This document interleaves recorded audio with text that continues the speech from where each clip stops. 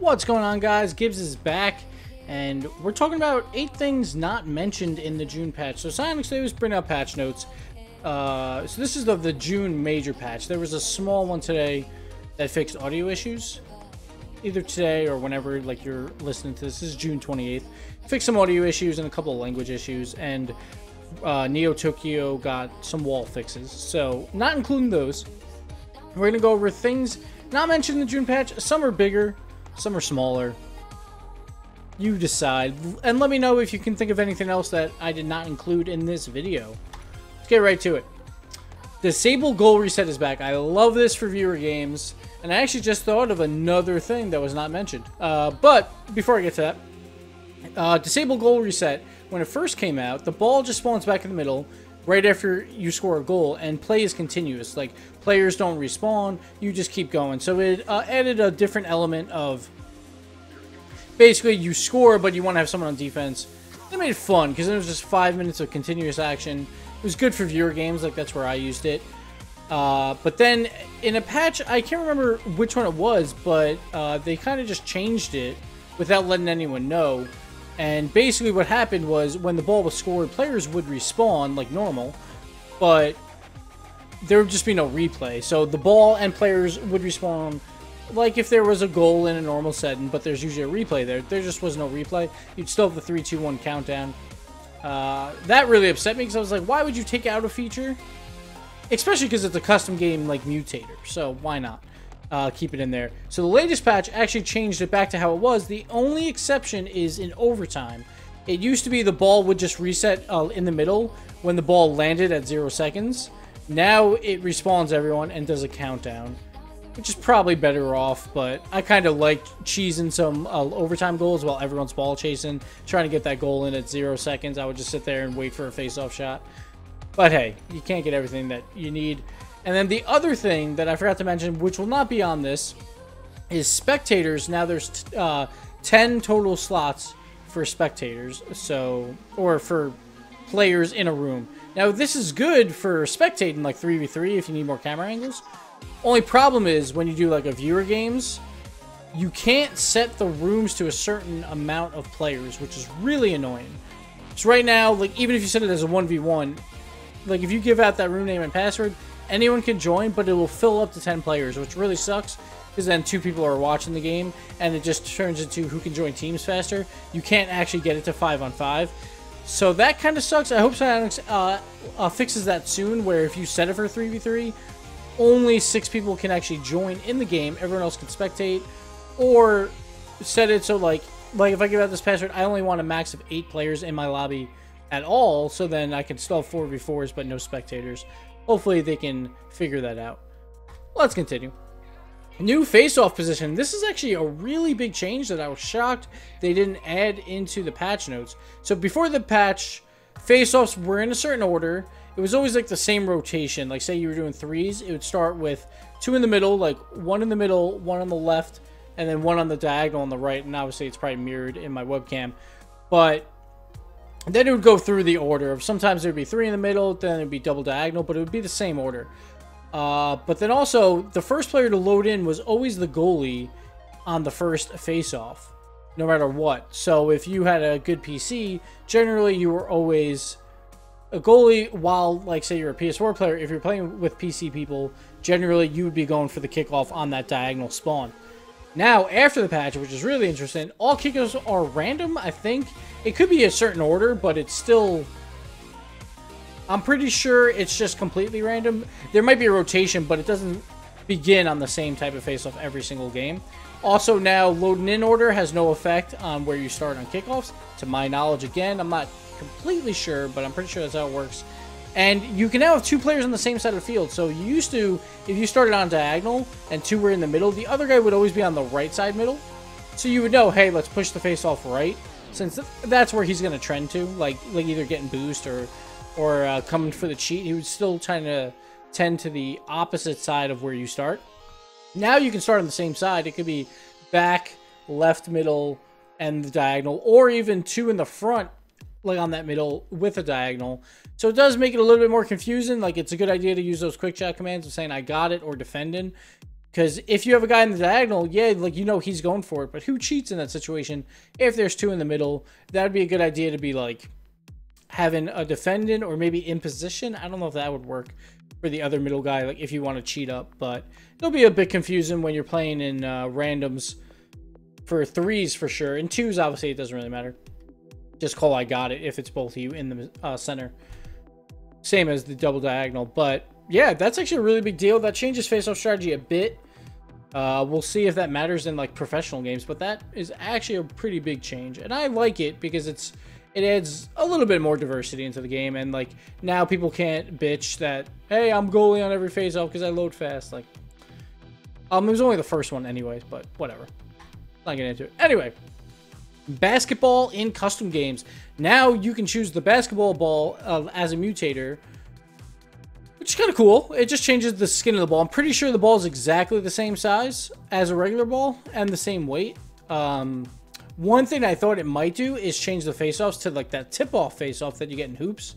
Sadly, it does not. It's just a normal face-off, so there's not really, so it's not a big change, but it's something. So you can play with a different ball skin, maybe, and that'll be a quote, obviously, but whatever. Um, maybe that uh, they'll add some more in the future. Who knows? Probably not, because now we have uh, these little balls that they're selling, the stress balls, which is the normal ball of Rocket League. So I doubt they're going to get away too much from the normal ball, but especially like even in Neo Tokyo, like they have the normal ball as like a big thing right in the background. So I doubt they'll get away from it, but say when volleyball comes, if it does, they'll have a ball for that, so you can change it probably to that ball as well in the future in custom games. So that'd be nice. Next up, my favorite feature besides uh, disable goal reset, maybe even more, turtle goals are here, guys. They now recognize turtle goals. Thank you, Psyonix. Turtle goals now give points as well, plus 20 in matchmaking and plus 10 in private games. And you get this cute little turtle icon that you can see in the picture here. Plus, if you get one of those uh, like stat tracking items, I think some of them might do turtle goals. So if you get one of those, turtle it up. Best way to get them, 1v1s, guys get those breakaways, turn on your backside, and get those turtle goals. It also tracks them now in your stats page in Rocket League menus. I think it's like options, stats, whatever it is. But it tracks them there now as well. That's pretty awesome. Turtle goals are the best. Moving on. Underpass and Rocket Labs. They did not mention this map except that it would not be in the Rocket Labs playlist anymore. I probably shouldn't have said it's in Rocket Labs. It's a Rocket Labs map, but whatever. Now it's basically Neo Tokyo without the skin. I think it's identical to the uh, map that is Neo Tokyo now. It's just, it doesn't have a skin. It's more of that Tron feel again. And it has these weird little gray boxes around. I, I don't know what those are for, but whatever. Either way, Underpass is alive in Rocket Labs. It's just exactly the same as Neo Tokyo. I assume eventually Psyonix might take this map out of the game entirely since we have Neo Tokyo now. But for now, if you want to enjoy a more Tronny feel of Neo Tokyo, feel free to do it in Underpass in Rocket Labs. Next up, maps now have more colors. So I put one uh, situation here, which is Wasteland, which is probably the easiest to see. But every map, I think, just has more like color saturation on your side of the field, like on blue side or orange side. Um, like I think it looks nice because why not? It just makes it a little bit more vibrant like the sand in Wasteland, like on the blue side now, there's tons of blue on the sand itself on Wasteland compared to the old patch, which is just like one of the, uh, their promo shots. But like you see, the the sand is just brown with you know some darker spots or whatever. But there is zero blue on the sand before. Now there's a little bit more color on each side. Like it's probably the lights hitting the sand or or, or whatever it is, but still looks nice. Um, you can see this. I'm I'm pretty sure every single map. Maybe not urban that one, for some reason, I'm feeling like it didn't change much. But I think it's, like, it's easily seen in Mannfield, DFH, I believe, as well. Um, maybe Utopia, not positive again. But look for more saturation of colors. You probably can't notice it anymore because you've been on the patch so long. It's been like a week, so. But it's pretty cool, nonetheless. Next up, oh, I skipped one. Win streaks in competitive. This one is awesome. This change is ranked a bit. So now, when you're on a win streak, you will face tougher opponents in competitive now, which is pretty cool. what that means is when you face tougher opponents, uh, you will get more uh, MMR for each win you get because you're a lower rank than them and they're a much higher rank, so you get more uh, MMR when you beat them. Of course, when you lose, you also lose less as well, but then your win streak will probably die. I'm not sure exactly how it works, but then you'll go back to facing opponents that are your same division or same rank or, or whatever. So that's actually really cool because now you'll be able to climb faster if, like, say you wanted a second account or you haven't played ranked yet, you'll get up to your rank quicker because if you get like 10 games in a row where you win, you're just going to jump uh, division after division after division really quickly because you'll be facing, say, your Challenger Elite, like you might be facing Rising Stars or All Stars or whatever it is. So that should be really cool. Should uh, change rank a bit. It is nice that you'll be able to climb faster, which also means like my like if I do on the new season a spud to stud type season, it's gonna go a lot quicker as well. But that's kind of good because like uh, we don't need to see every single prospect game, right? I mean, we only need like three. So that should be really neat. I'm glad that they're still working on the rank system. Probably more changes to come for that. But for now, this is what we get. Also, they said in the patch notes that you wouldn't be able to play with friends three tiers below or above you, or past that, like greater than three tiers. That is not in yet, which is a problem, I guess, because they're trying to get rid of Boostin and Smurfing, which, you know, you can't really get rid of entirely, but right now, people can still boost as much as they want, which, whatever, because right now, you can play with all ranks.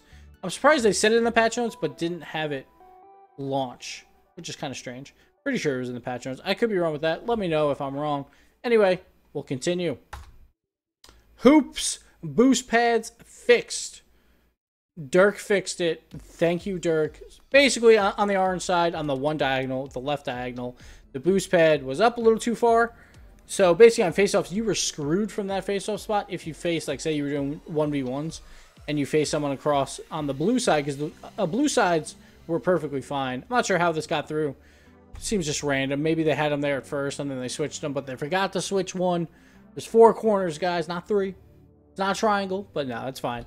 It happens. Um, uh, this picture was from Reddit uh, user Digital Dice. So thanks for that. But yeah, basically now the boost pad is where the should be here spot is.